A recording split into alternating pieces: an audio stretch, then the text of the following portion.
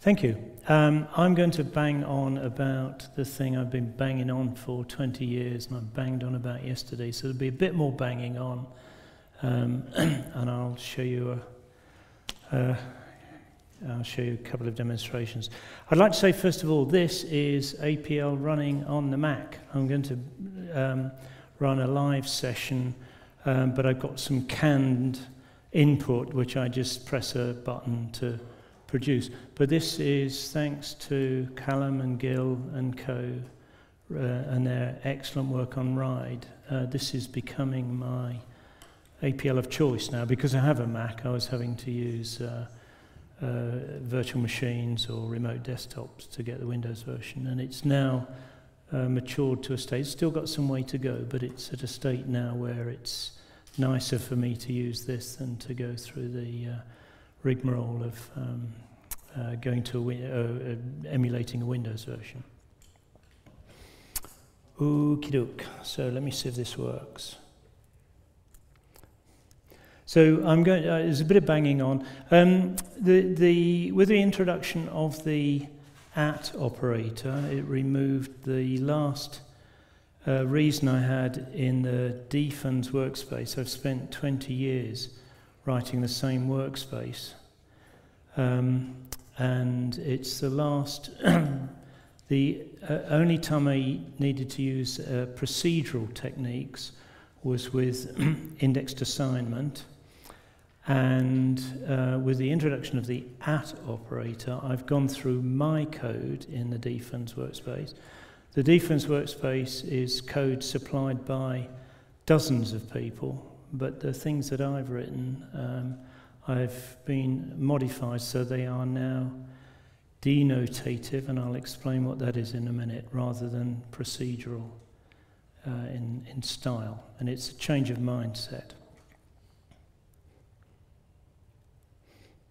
So, uh, procedural and denotative uh, have are two different mindsets, two different uh, software layers. When you're programming, you swap in the pack, um, what do you call it? Car- you either swap in a procedural cartridge between your ears or you swap in a denotative uh, uh, cartridge, and both have their place.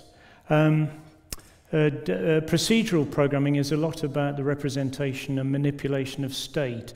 Uh, you can make a buck out of representing state as Oracle Inc. Um, you know, they've, they've, they've done well out of um, representing state. And the people, the DVLC, the people who keep records of your car registration numbers, they, they're interested in that.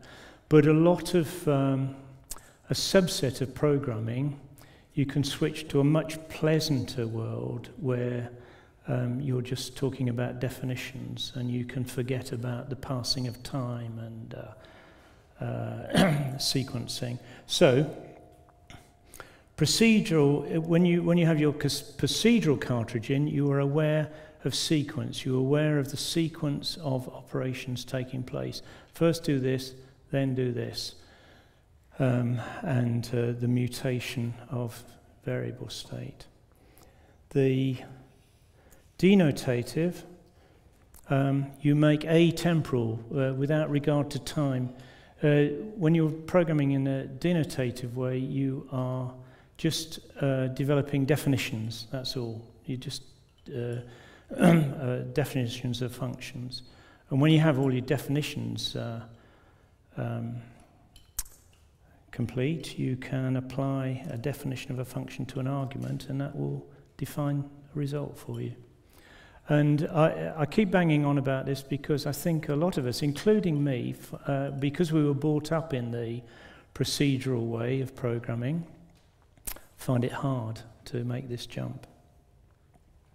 So in the dfns workspace, I went through and found, I, I did a search for right bracket assignment and right paren assignment and found where I was using um, uh, indexed assignment and um, I tried to change the code so that it would um, it would it would not be Uh, it would not use that. It would use a, uh, a denotative uh, uh, definition. I, I, should explain. Uh, I, my apologies to the 40 or so people who've, who've already heard this pitch who came to the workshop yesterday.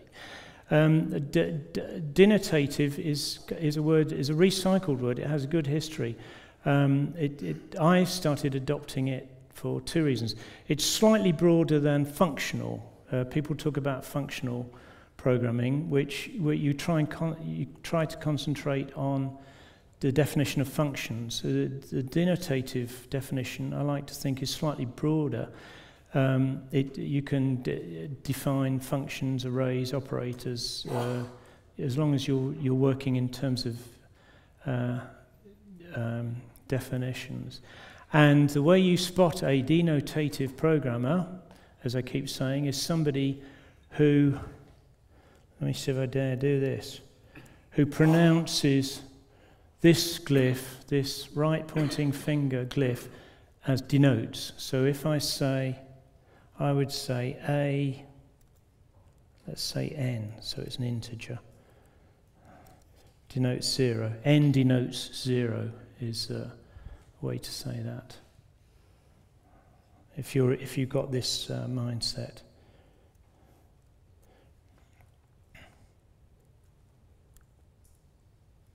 Right, so I, uh, I, take, I, I trawled through the dfns uh, workspace, so the things I'd converted, and it, the, the trick, the, the difficulty was to find uh, functions that were, weren't going to take you the remainder of this talk to explain what they did.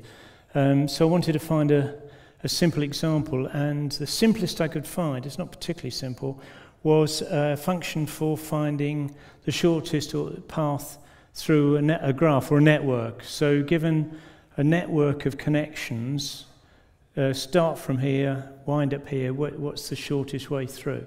And I think that was um, Dijkstra, who, uh, yeah, Dijkstra um, was the first person, person to publish a, a good algorithm for this.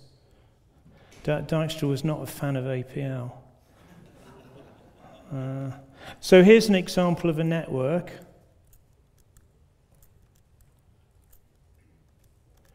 Um, so what, oh, let me see if I can use it. So what this is, this is just a little network with one, two, three, four, five vertices or nodes, and you can see the connections. So you can get from node 1 to node 2.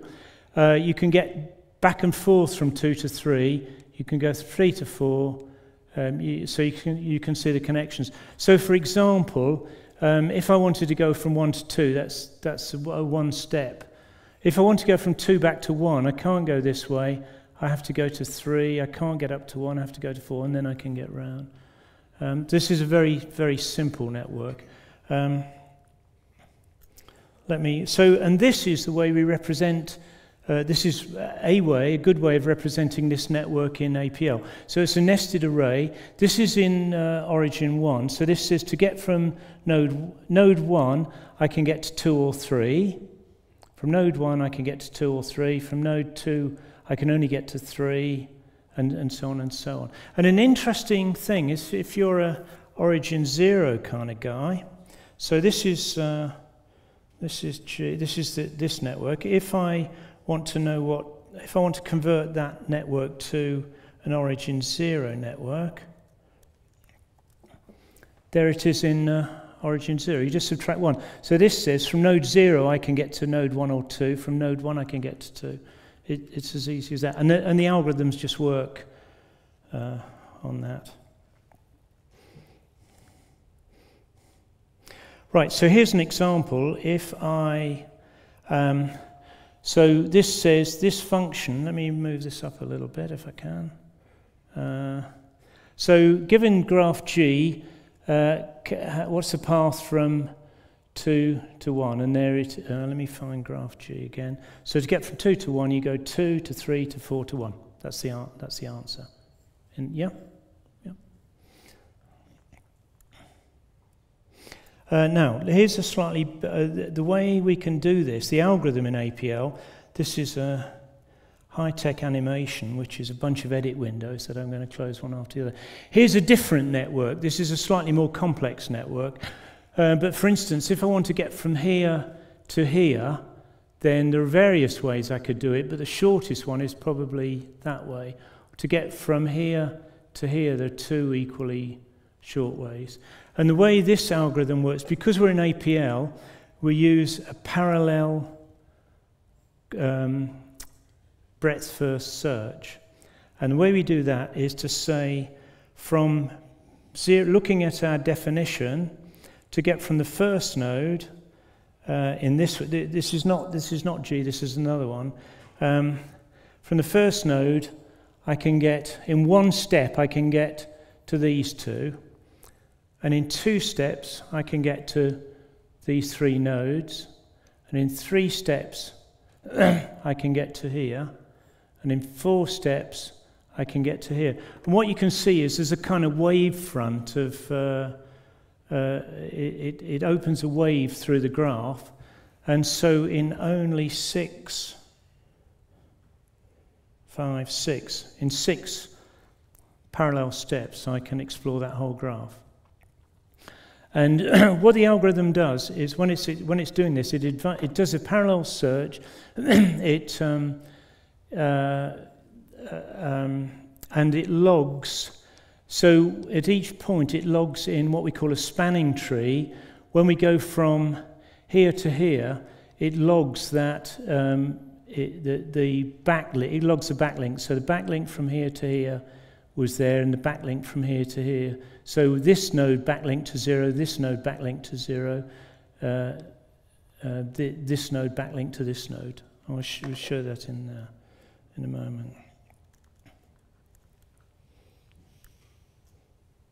So what I'm going to do is show you the procedural coding of this, and I'll just trace this. Um, now, we're, we're not going to go through every line of APL in this, but I want to make a couple of points. This is the whole um, algorithm, and what is interesting about this is this line down at the bottom. And this is an indexed assignment. And the way this algorithm works, it keeps a spanning tree. Um, that's easier, more dexterous with this. It keeps a spanning tree, and then as the wave front, it calculates the new wave front somewhere. Where's uh, here's a wave, and then the, all the points in the wave uh, that nodes in that tree it links in the back thing. So this is a relatively global variable outside the function. And it explores all the nodes when there are, when there are um, oh, uh, and it's looking to get from this node to this node. And when it's got this node, in fact, because it's APL, we can give it a set of starting nodes and a set of finishing nodes, and when uh, there's a path from one of the starting to one of the finishing, it stops. So if, if two is in the tree, then we, we this, this just reverses the path uh, to do this. So, goodness, the time flies when you're enjoying yourself.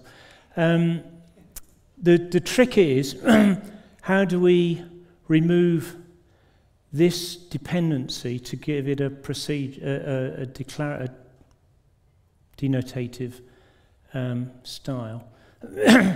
and what I'll do is to, well, I can just run this, can't I? There you go, it works. Um, I can, uh, well, the, the, I, I, won't do this. What I will do, uh, what this is going to do is to uh, delete trailing blanks from the removal of the comments from the quad CR of each of these two functions. So it will display them side by side, and we can compare the procedural to the denotative uh, coding. And they're virtually the same, except that where down here um, I have a, uh, an indexed assignment, here I have an at function. That, that's the major bit if you're just looking at the code level. But the conceptual level is that tree in the denotative style is passed as a, an argument into the uh, function. And so whereas I would tend to read this as a loop, do this and go round again, for, for this style of programming, I can just read it as a single recursive statement. What I can say is, given a starting tree, um, which is a, which is a, a bunch of uh, neg 2s except for a neg 1 at the initial um, uh, node, then I can, all this, this statement here produces an incremental tree, uh, an incremental spanning tree. And so, given a spanning tree and a node or set of nodes of the um, uh, of the graph, it will produce an incremental tree, and then I can just call with the with the uh, new set of vertices the uh, an increment. I, I, can just call this recursively, and this is um, so. Although there's not very much um, difference in the code. Most of this code, deliberately, I, have kept the code the same. Um, but conceptually, this is quite, the, the way to read this is quite differently. There's just one recursive definition. And it's like, re, the, the recursive definition is like um, a, de, a, a, definition of factorial is um, uh, factorial n, if n is uh, uh, uh, 1, it's 1, otherwise it's factorial, it's n times factorial n minus 1. That's the end of the story. You don't need to go through all the iterative steps in a definition. So this is, uh, this is what this is. Now, having done this, there are some benefits. First of all, the benefits for the any kind of compilation process can um, look at this code, and because it's pure code, it can do um, some manipulations on it, some code reductions that aren't available to this code. For example, it can spot that this variable here is referenced only here because this variable is different. This, this is an inner variable. And so, for example, it doesn't need to name this. It could use, and we could just put this expression instead of this name here. So it could massage this code to remove this. Ditto here, it, it doesn't really need to name this. So we can do a lot. Uh, I've used these names to make this more readable.